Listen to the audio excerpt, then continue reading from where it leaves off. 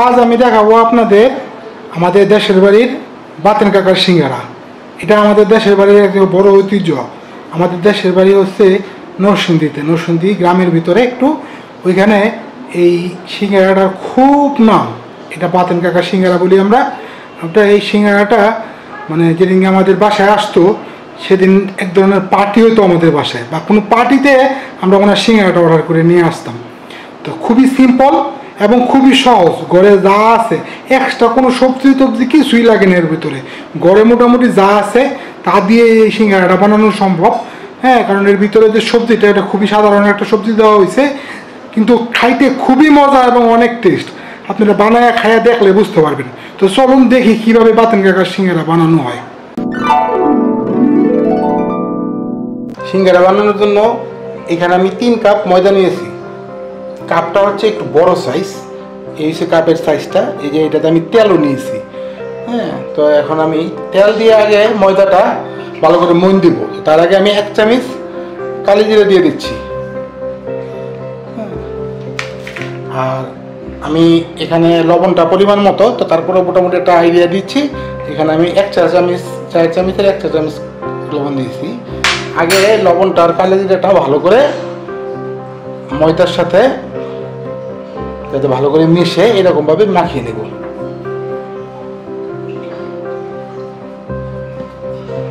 লবণটা ভালো করে না মিশলে কোথাও কোনো জায়গায় লবণ লবণ লাগবে, কোথাও লবণ ছাড়া থাকবে। সেই জন্য লবণটা খুব খেয়াল রাখবেন যাতে ভালো করে মজার সাথে মিশে।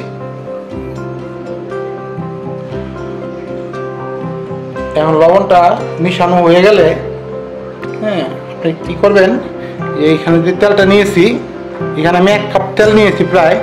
এক কাপ তেল পুরোটা একবারে দিবেন না বা লাগবে কিনা এটাও শিউট না। আমি দেখাচ্ছি কোন পরিমাণ পর্যন্ত তেলটা লাগবে। অল্প অল্প করে জাস্ট এই যে প্রথম অতটুকু দিলাম। দিয়ে ভালো করে মিশাবেন। হ্যাঁ আপনার আইডিয়াটা হচ্ছে আপনারা যারা বাপা পিঠা তৈরি করেন, বাপা পিঠার মধ্যে যখন পানি দেওয়া হয়, পানিটা কিন্তু যখন মিশানো শেষ হয়ে পর্যায়ে চলে আসে, তখন এই যে এইভাবে মুট করলে, এই যে দেখেন এখন কিন্তু আমার এটা দলাবাদ নেই। এটা জোর জোরে হয়ে পড়ে গেল। কিন্তু এরকম দলা বাঁধতে হবে। আমি যে তেলটা দিয়ে মন দিচ্ছি, সে তেলটাও ঠিক খেয়াল রাখবেন যে এরকম যাতে হাতে যখন চাপ দিবেন, তখন যাতে এরকম দলা বাঁধে হাতে। ঠিক এই পরিমাণে তেলটুকু লাগবে। এই জন্য তেলের পরিমাণটা আমি এক করে এখানে বললাম না।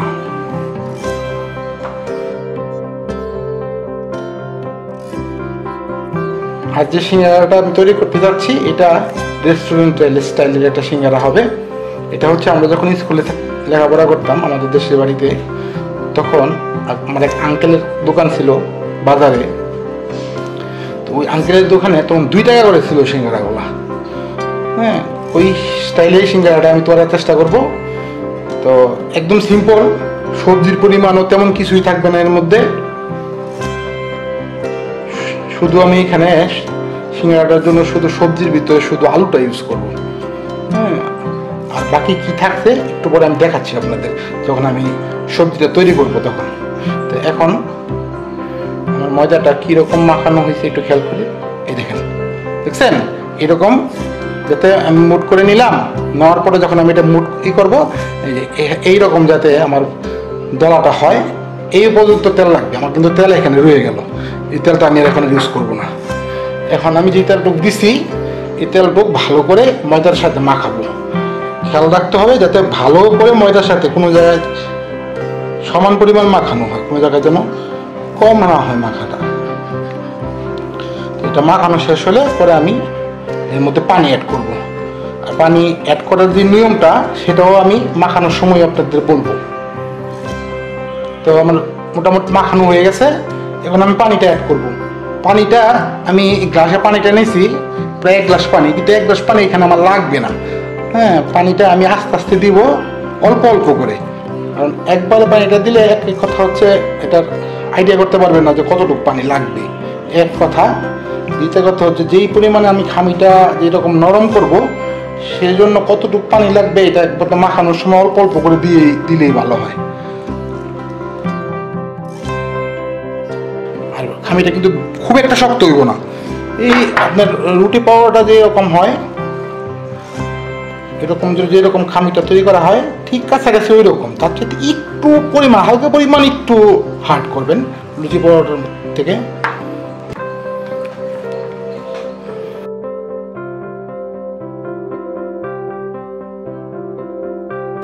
আর অবশ্যই এটা ভালো করে একটু মথে নেবেন। কারণ যতটা মথবেন, ঠিক সিঙ্গাটা বাজার পরে ওটা যখন আপনি মুখে নেবেন, ঠিক ওই পরিমাণ সফট হবে। করেন। পঞ্চি মঞ্চি একটা ভাব থাকবে, এরকম পর্যন্ত এটাতে পানি ইউজ করবেন। তা এক গ্লাস পানির মধ্যে আমার এই যে, এই পরিমাণ পানি রয়ে গেছে। তো এই এখন আমি এটা অন্তত তিরিশ মিনিটের জন্য রেস্টে দেবো। আর তিরিশ মিনিটের মধ্যে আমি এটার পোটটা তৈরি করব। চলুন দেখি কীভাবে পোটটা তৈরি করা হয়। আমার কড়াই গরম হয়ে গেছে। এখন আমি তেল দিব। তেলটা মোটামুটি সবজি দেখে আপনারা সবজির পরিমাণ বুঝে তারপর তেলটা ইউজ করবেন। এটা ভাইঙা বলার কিছুই নেই। সবজি দেখলে তেলের পরিমাণটা মাথায় চলে আসবে আপনাদের। তো তেলটা একটু হালকা গরম হওয়া পর্যন্ত অপেক্ষা করব।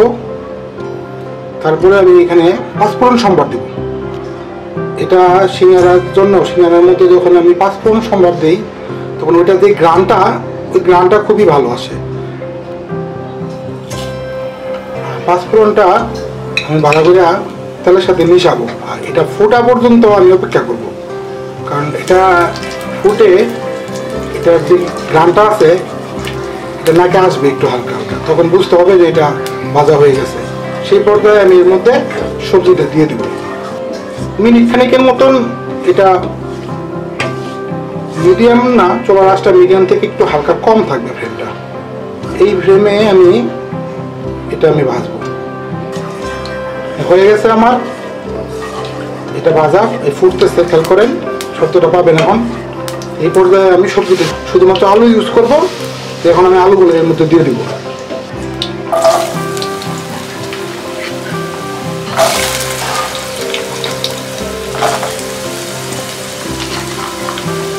আলুর পরিমাণটা এখানে আমি বলে বলা হয় নাই। এখানে আমি বড় সাইজের পাঁচটা আলু ইউজ করছি। এর মধ্যে আমি এখন দিয়ে দিব হচ্ছে হলুদ আর লবণ। হলুদটা পরিমাণ মতো। আমি অল্প একটু হলুদ ইউজ করছি। হাফ চামচের কম চার চামচের আর লবণটা তো স্বাদ মতন এটা আপনার সবজির সাথে কতটুকু লবণ যাবে যে যে রান্না করবে সেই এরপর দিয়ে লবণ দিয়ে দিচ্ছি। লবণটা হলুদটা ভালো করে মিশিয়ে, এটা আমি কিছুক্ষণের জন্য ঢাকা দিব আর আলুতে এমনিতেও পানি থাকে, পানিটা আমি বাইরে থেকে কোনো পানি দিই নেই এখানে, আলু থেকে পানি ছাড়বি সেই জন্য পানি ইউজ করলাম না, আমি এটা কিছুক্ষণের জন্য ঢাকা দিয়ে দিব। তো পাঁচ মিনিট পরে আমরা চলে এসেছি।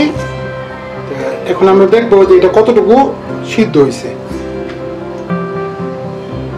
আমি এই পাঁচ মিনিটের মাঝখানে দুইবার এটা খুইলা নাড়াচাড়া করে দিয়েছিলাম যাতে পুরাটনা না লাগে বা ঠিক মতন সব দিকে সিদ্ধ হয়।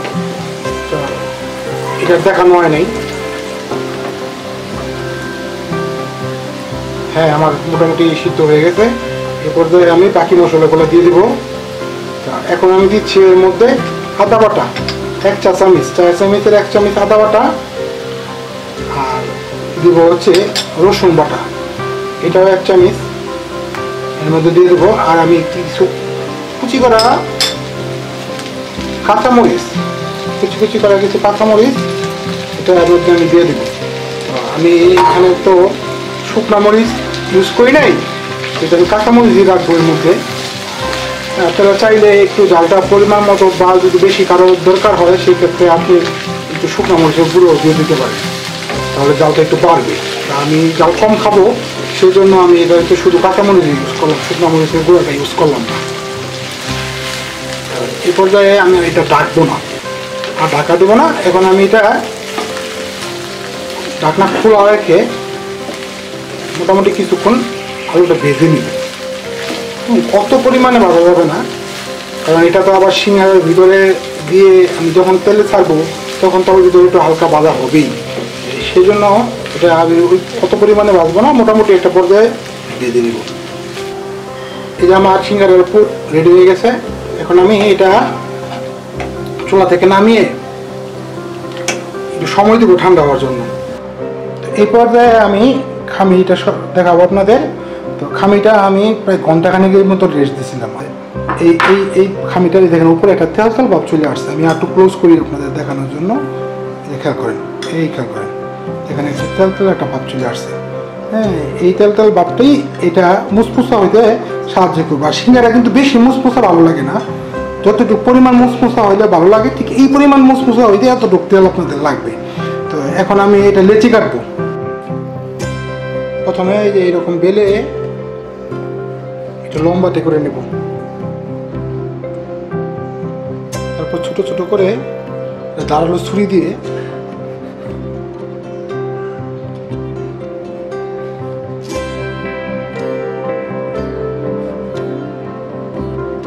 এটা সুবিধা করতে আমি এটা করে দিচ্ছি। আপনারা আপনাদের মতো করে হাত দিয়ে টেনে টেনে ছিঁড়েও নিতে পারেন।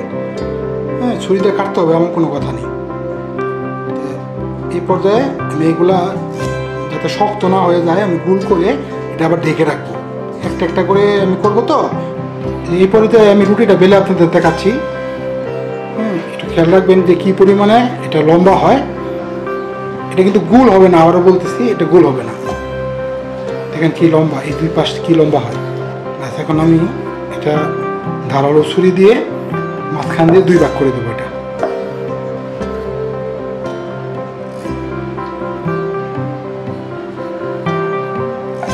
বাস, হয়ে গেল আমার। এখানে এখানে আমি এখন এই মুহূর্তে আপনাদের যেটা দেখাবো, সেটা হচ্ছে এর ভিতরে পুরটা ভরে যে বাসটা হবে, সিঙ্গারার বাসটা অনেকেই পারে না। আমিও অনেক কষ্ট করে শিখছি তো আমি চেষ্টা করব এখন আপনাদের সিঙ্গারা বাসটা দেখানোর জন্য। এই পাশ থেকে আসা এই, এটা ওই যে আপনার জালমুড়ির যে ঠোঙা আছে না জালমুড়ির ঠোঙার মতন এইভাবে পাশটা হবে। তো এর ভিতরে যখন আপনি কোটটা দিবেন, দিয়ে একটু হালকা করে একটু প্রেশার দিয়ে যাতে দিয়ে দিবেন। দিয়ে এখানে বেশি অংশটা এই পাশ দিয়ে এসে লাগাই দিবেন। তা আপনি এই হয়ে গেল, এই পাশ লাগানো, আবার এইখান থেকে টান দেয় না, এই পাশে দিয়ে দিবেন।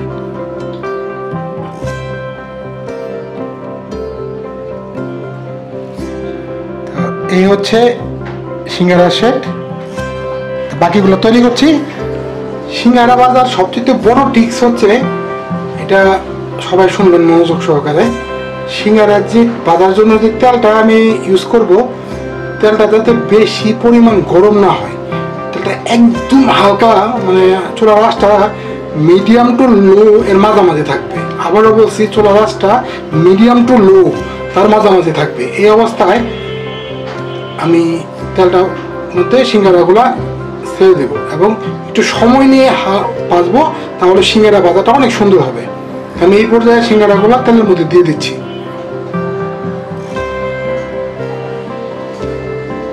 বুদ্ধবুদ্ধিগুলো দেখলে আপনি বুঝতে পারবেন যে তেলটা কি পরিমাণ গরম আছে? যদি তেলটা যদি খুব পরিমাণে গরম থাকতো, তাহলে বুদ্ধবুদ্ধির পরিমাণটা কিন্তু খুব বেশি হইতো।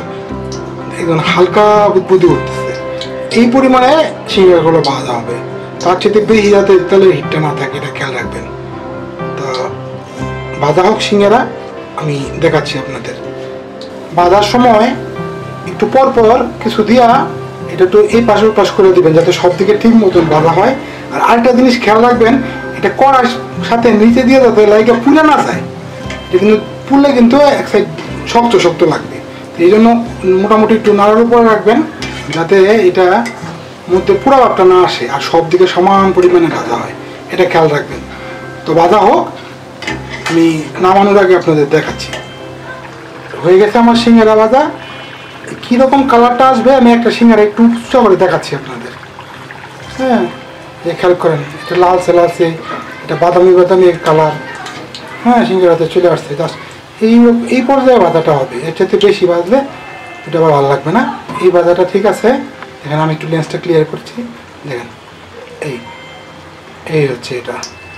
ঠিক আছে তো আমি বাকিগুলো বেজে একসাথে করে ডেকোরেশন করে আপনাদের দেখাচ্ছি।